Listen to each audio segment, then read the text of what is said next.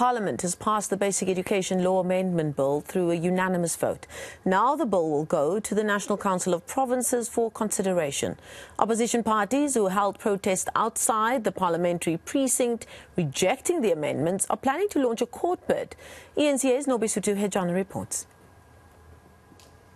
The Basic Education Department says political parties who held protests outside Parliament against the adoption of the Basic Education Law Amendment Bill are disingenuous. The department spokesperson Elijah Mhlanga says the Bela Bill only seeks to strengthen governance in the schooling system and close gaps created by people who exploited loopholes in the previous legislation.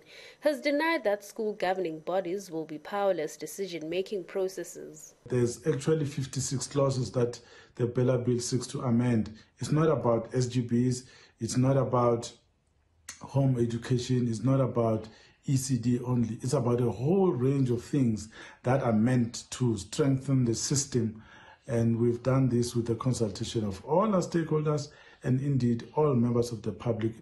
But the DA, ACDP, Freedom Front Plus, and some civil society groups are accusing the government of using the bill as a scapegoat instead of dealing with more pressing issues to fix education. Centralization is a very dangerous tool to use, knowing the current government, especially the ANC, every single thing they've touched, they've destroyed. Part of the elements of the bill that we don't agree to is the fact that they're trying to take away school governing body powers to determine admission and language policies. Bela Bill does not reform or transform um, the education sector. It is not going to ensure that we have better outcomes in education.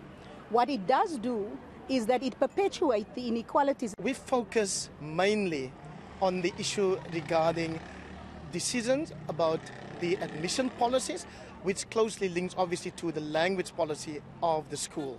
Meanwhile, Equal Education says they're not entirely opposed to the bill, but have concerns on one policy that seeks to prosecute parents who fail to ensure their children attend school. Schools being overcrowded, and we can't often get learners into the schools that are closest to them.